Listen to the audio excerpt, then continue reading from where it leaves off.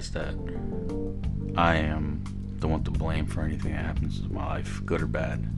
Now, there are some circumstances where other people do help you, but you still have to allow that help into your life.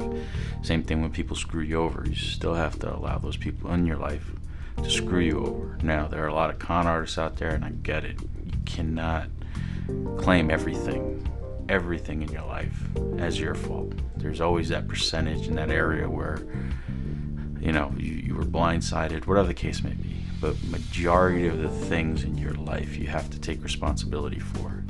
And uh, it's a huge step. It's something that doesn't come easy because sometimes you'll have to realize that all those fuck ups were your fault and you're the only one to blame.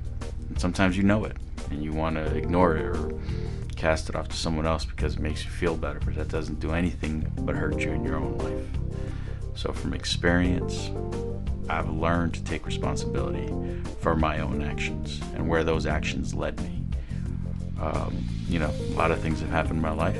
I still say I have a great life. I have a blessed life. I've worked hard.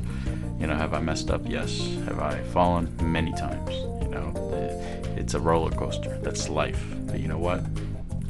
It's my roller coaster. I'm driving that roller coaster. I decide which way it goes. So take that responsibility in your own life, and you'll see what a difference it makes, and you'll see how much clearer your path is. All right, just wanted to drop this something that's been going on in my mind, and I've been talking to a few people about it. So I just wanted to share it on my platform, and this is just something I'm gonna keep doing. Um, just hit me up, follow me, DM me, comment. Let me know what you think. Thanks.